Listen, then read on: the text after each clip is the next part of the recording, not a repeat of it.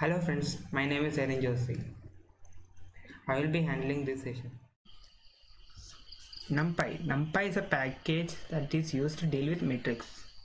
So you may be thinking we have list. Why do we need another package uh, NumPy for dealing with matrices? We can do with uh, the list, right? Yeah, yeah. Actually, it is true, but num uh, but numpy has a great advantage because numpy only deals with number and numbers and it is much faster than the uh, calculation doing uh, done with the list. And it also contains many inbuilt functions that can be used so that uh, we don't have to do the basic calculation every single time. We can uh, save more time. So let's let's see some important uh, functions and operations in numpy.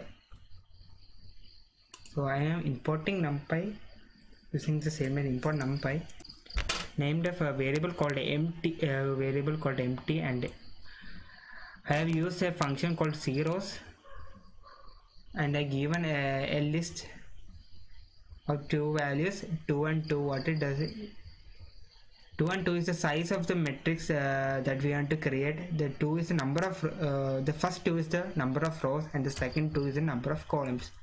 So and, uh, what it essentially does it it creates a 2 into 2 matrix whose entire elements are 0 and let's print that matrix. Yeah it printed a 2 into 2 matrix whose elements are 0 zeros. So let's so i'm gonna uh, call numpy as np in rest of the session for easy use so the zeros and the function zeros can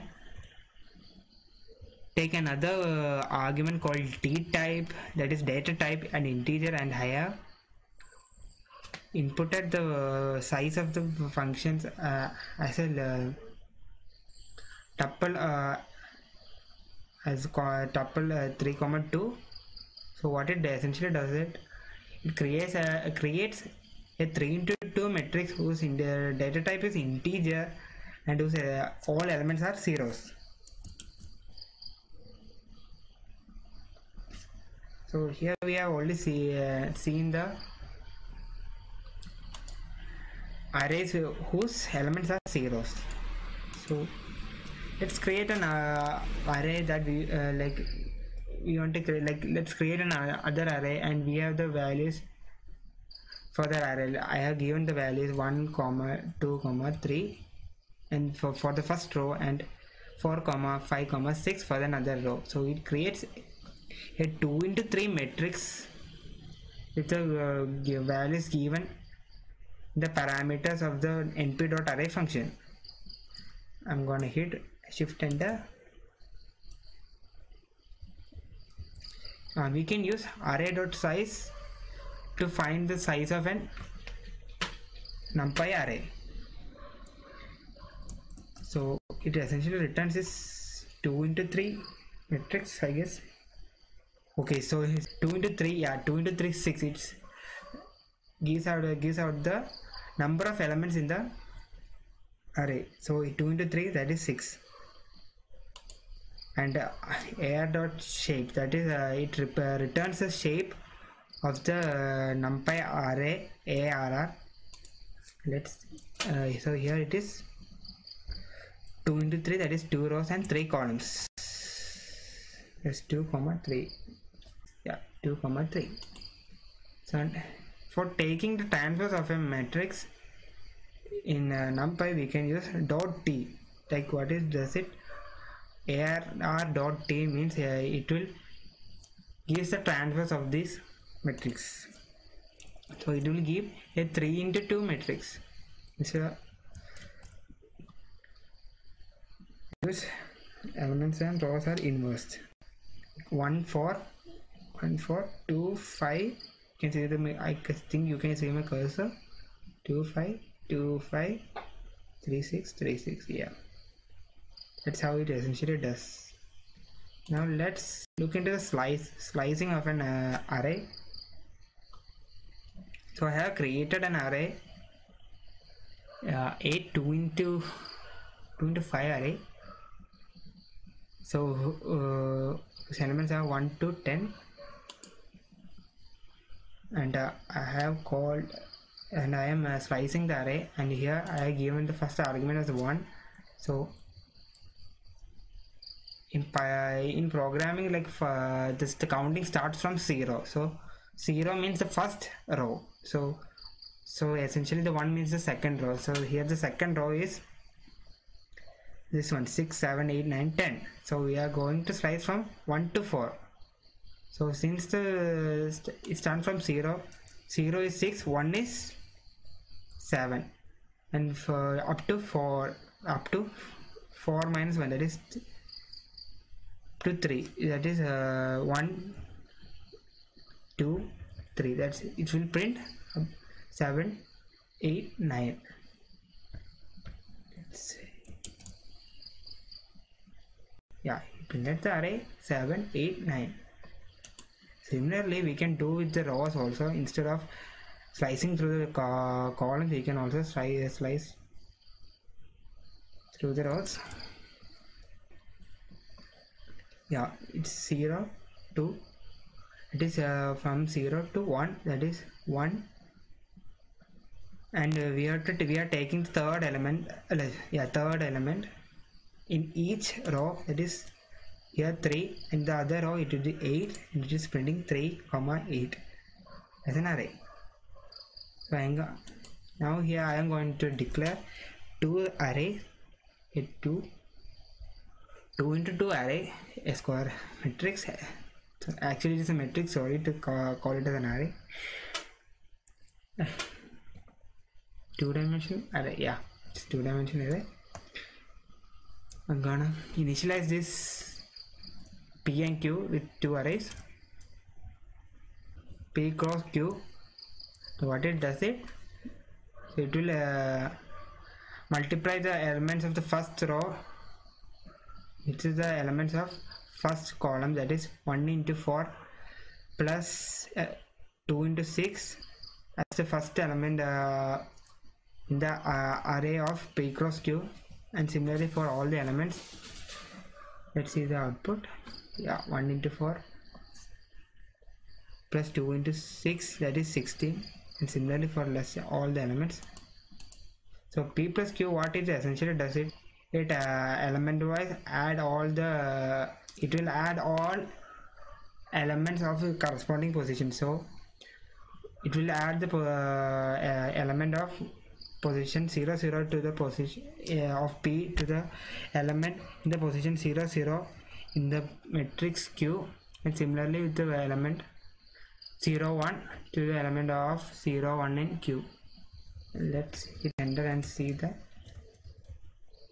answer that's 5 7 8 10 so 1 plus 4 is 5 2 plus 5 is 7 2 plus 6 is 8 and 3 plus 7 is 10 that's how we got the answer. That's 5 7 8 10 and the, the star operator as a multiplication operator in the uh, in, as used in integers it will uh, the element wise multiplication of two matrix.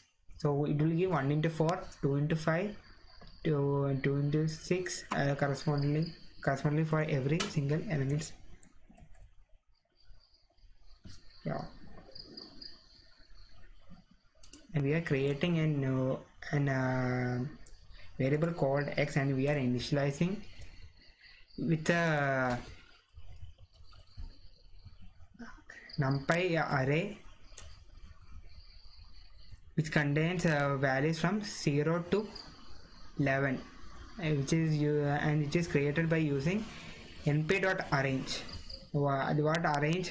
Essentially a range uh, uh, arange uh, what essentially does it it, uh, it takes an argument it is an integer and it creates a numpy array from 0 to the value you have 0 to n minus 1 that is n is the value you have entered.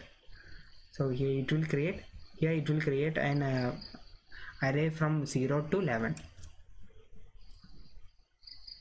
so we have we got a one dimensional array here which contains 12 elements.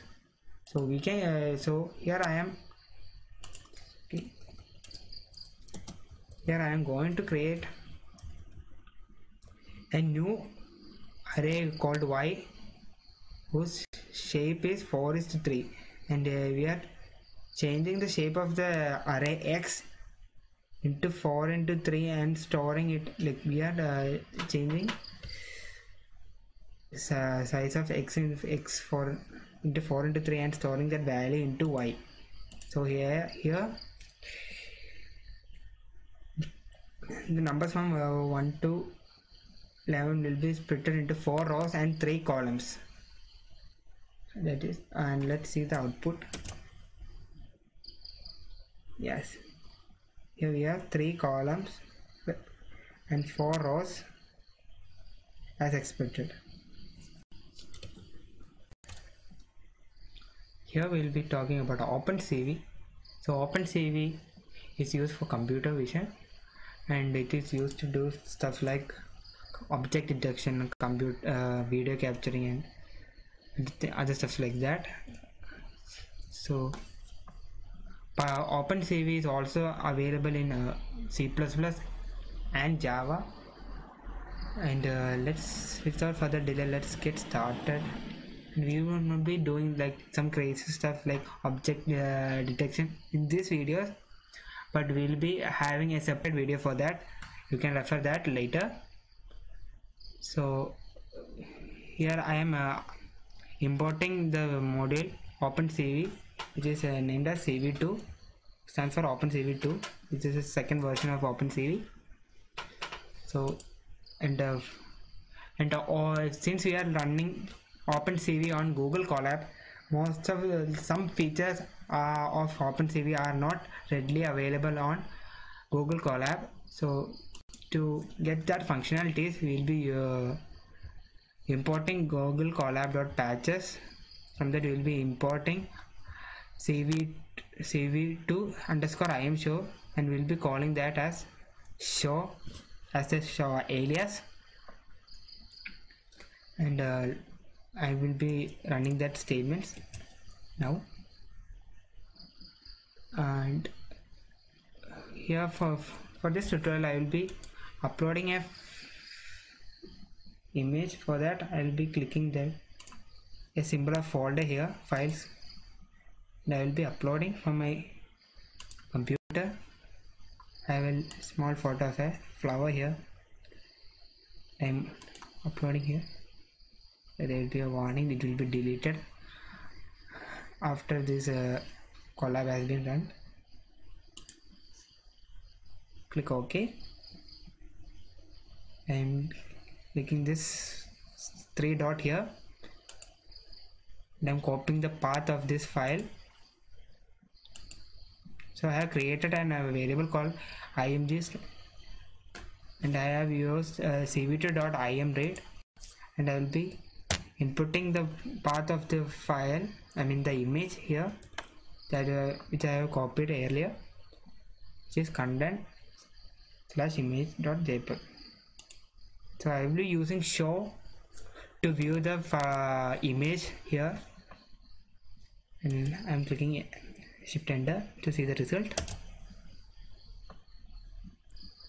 Yeah. Here I was able to see a small image of a beautiful flower. So to create a black and white uh, photo of this picture uh, of this flower I'm using cv2.cvt color and I will be giving the variable uh, which uh, which in, uh, stored this image as created here. Img and other. And to which color space we are converting into here. I am con uh, converting this color image that is blue green red to a grayscale that is black and white image. And this is stored in the variable bw and I am uh, uh, giving this to the input uh, giving this to the uh, function cv2 dot im show which is called as show here. And I'm clicking shift enter to see the result. Uh, this is small thing we be it's a small introduction to the OpenCV. We'll be dealing with this in the upcoming videos. I hope you guys like Python uh, and there are several more packages in Python such as matplotlib which is a package which is used for data representation such as to draw a scatter plot, a bar diagram, a pie chart and all that and Sci and SciPy is used for uh, higher order math and beautiful soup is a library uh, it's a package that is used for web scraping in a uh, of a website. It can be used to extract uh, information from a website. And numpy as we had uh, as we discussed earlier they are used to deal with arrays in python. And there are uh, frameworks called django and flask for web development and it contains tensorflow and keras for neural network in uh, for machine learning.